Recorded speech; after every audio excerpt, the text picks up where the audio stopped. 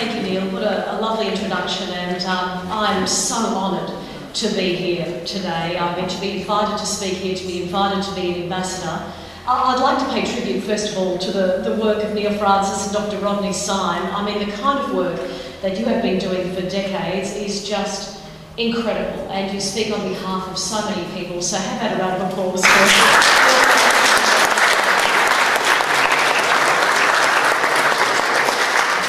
Even before being invited to be an ambassador to this wonderful organisation, I've been watching the work of Dying for Dignity Victoria for many years now. Can I say, quite honestly, you are leading the discussion for change in this country with the most sensible solution, but uh, more on that later. Like many Australians, I grew up in a family where we would openly talk about voluntary euthanasia, but not in an academic way, more in a sitting around the telly at 6pm watching the news, there'd be a horrible story that would come on, and someone would say, if I end up like that, please put me down like a dog. That's the kind of way, the kind of Aussie vernacular that we use in our family growing up. As the kids, that's me and my sister, who's three years younger, got older, the discussions became much more serious around the kitchen table and around the telly.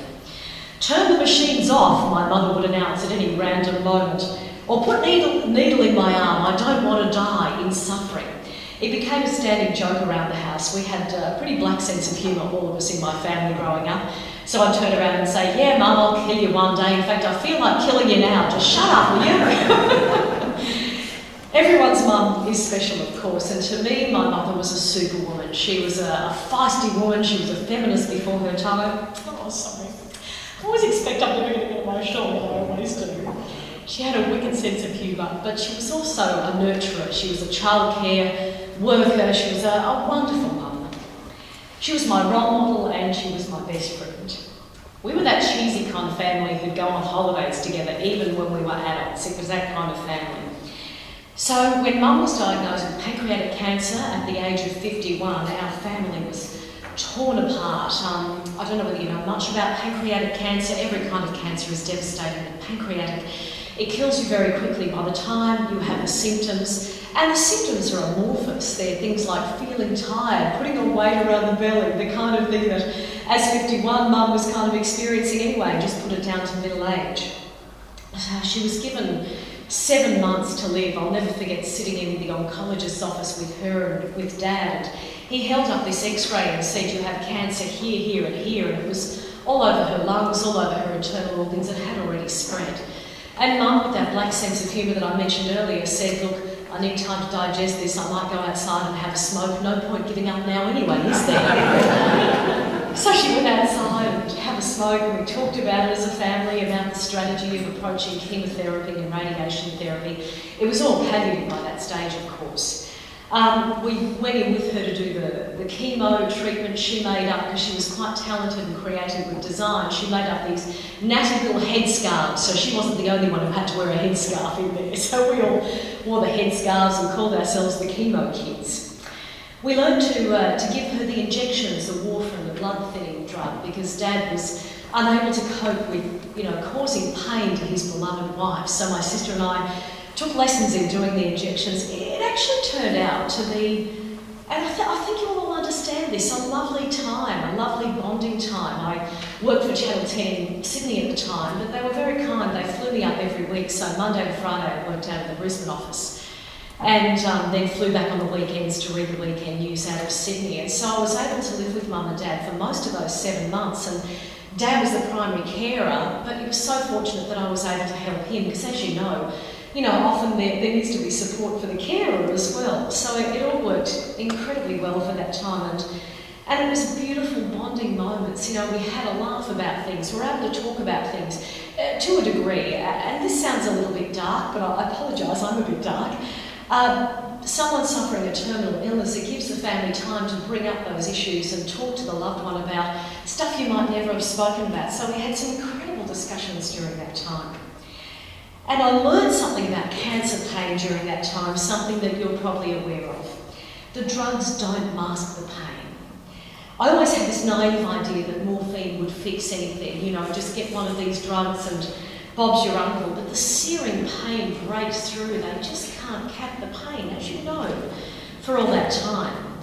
So I had a chat to my sister, we're as thick as thieves, Suzanne and I, and we decided we'd go on the streets and score some heroin. Surely that would mask the pain.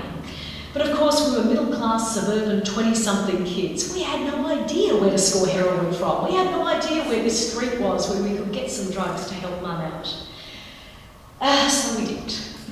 Mum wanted to die at home, but after six months, she was in too much pain, agonising pain. She was at that stage we would go to the local club and have some lunch and she'd just pass out and we'd have to get the ambulance and it was just too much pain for her to be at home. We couldn't give her the proper pain medication within the house. It was a devastating decision to have to take her to the palliative care ward at the local hospital. They were wonderful there. Um, we had a family roster where we'd sit with her so there'd always be someone there 24 hours a day just to hold her hand, mop her brow, clean her mouth out, you know, get her a glass of water if she needed it, just those little things that I guess hopefully make it a little bit easier. At times she'd scream out in pain in the middle of the night, then she'd be incomprehensible. Slowly she lapsed into virtual unconsciousness. Then it got to the stage where she was unable to take herself to the toilet, and I knew for mum that would be the final indignity. I was, and my father was and my sister was, we were more than happy to carry her to the toilet, but I could feel the shame in her body that she did not want to live like this. This was undignified. You know, I think it's undignified for anybody, um, but uh, my mother was quite, quite the lady. she was a proud, almost regal woman, I just couldn't imagine her if she was, you know, cognizant that this was happening, which she wasn't a lot of the time, but she would I mean, who wants to live like that? Nobody wants to live like that.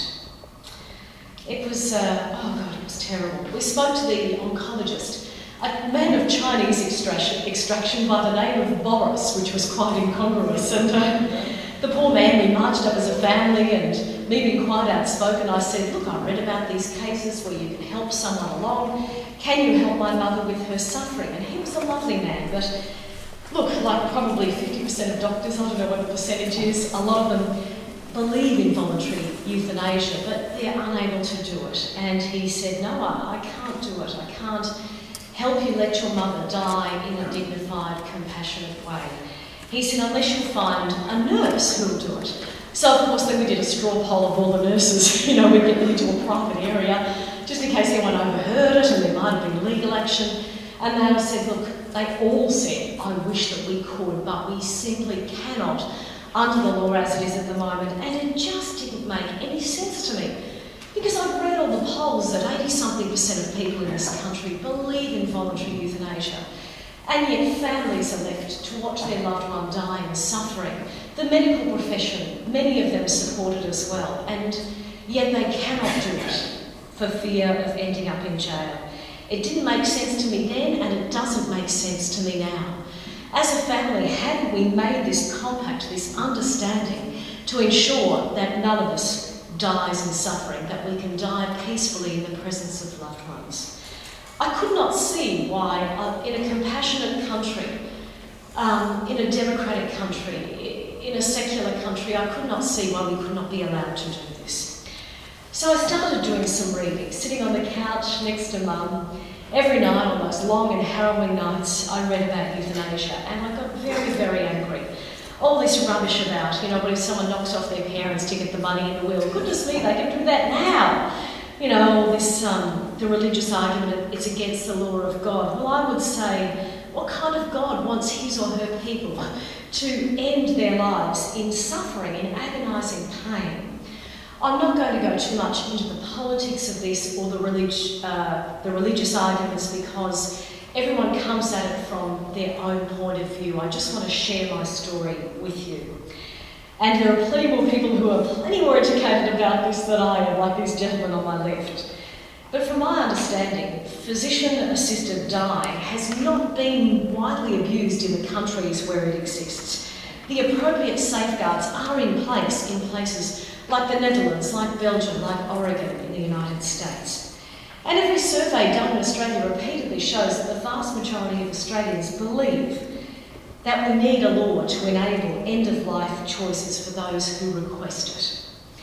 So, after reading all of this material, I made my decision.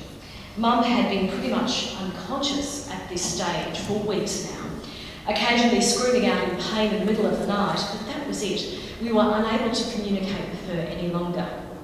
This is no way to live, I thought. I just read a story in part of my reading material about a woman who'd suffocated her mother with a pillow. She said it was the best gift she had ever given. And so I thought, this is what I must do. So I picked up the pillow I was sitting on and I walked over to mum with the pillow. It was three o'clock in the morning, that time when everything just seems too much. You think, this woman, she cannot live like this.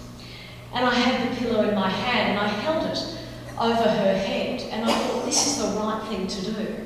But I could not put that pillow on her face. And there were many reasons for that. I thought, you know, is this my decision to take? I knew that mum would have wanted it. I knew that my father would have wanted this to have been done. He said that to me subsequently. My sister wanted it. I wanted it. So most importantly, the patient and the immediate family wanted this to happen. But I just couldn't do it. And I don't know whether it was, to this day, a, a lack of courage. There was also floating around in my mind you know, dad is technically her next of kin. They had a beautiful relationship, mum and dad, and am I taking that decision away from him, even though I knew that he wouldn't have the courage to make that decision either? You know, perhaps I should give him the chance to say goodbye, or my sister the chance to say goodbye. All these things were floating around in my mind. And whatever was the overwhelming reason, I simply couldn't do it. So I sat down and I cried. I felt so cowardly. And yet I thought it's just not the right decision for my father. So I went home, I finished, uh, I guess, my shift at six o'clock in the morning, and Dad took over, and I vowed that that night I'd talk to Dad about this moment. But I went home to sleep, and three hours later, Dad came home and woke me up and said, Mum's gone. And so my sister and Dad and I sat with Mum, and she was at peace. It was actually a lovely time sitting there with Mum's body, holding her hand, you know, rubbing her brow and thinking, she is actually not in pain anymore, and being so relieved that she was able to pass on. I've spoken to Dad about this subsequently, and he said yes, it would have been, he wouldn't have been angry if I had put the pillow over Mum's face, it would have been the right decision. But at that moment, what it's like with the immediate families? You're very close, but you're so busy on this roster of caring for the loved one that you don't actually sit down and say, okay, Dad, if I put a pillow over Mum's face tonight, will you be happy about that? It's just not that kind of decision that it's such a difficult discussion to have with the way the law is at the moment. You don't feel like you can have these open discussions about something that is quite, I think would have been quite a compassionate thing to do. That was 12 years ago. About four years ago, I read another story about voluntary euthanasia in the newspaper, and I thought, this is ridiculous. Why are we still having this discussion in this country and nothing has been done? So I wrote an opinion piece about it for the Daily Telegraph in Sydney. I had no idea about the impact that one article of 900 words would have. I received, well, first of all, it was supposed to be an opinion piece on page 12 or page 13, wherever they're normally situated. I woke the next morning and I was working on Sky News, so I woke at 4 o'clock. And there was my picture on the front of the paper. It took up the entire front of the paper. And I was um, delighted that this issue was getting such um, voluminous coverage. But it was also a little awkward on Sky News that morning because we do what's in the papers, and I had to hold up the Daily Telegraph with my own photo on the front of it. That was a little weird.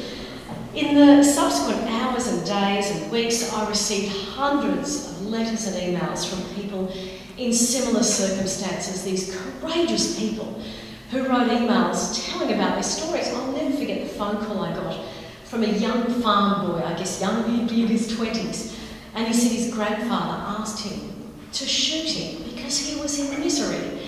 And this boy said to me, I didn't have the courage to do it, and my grandfather died in pain months later. And he said, I wish I had had the courage to do that, you know?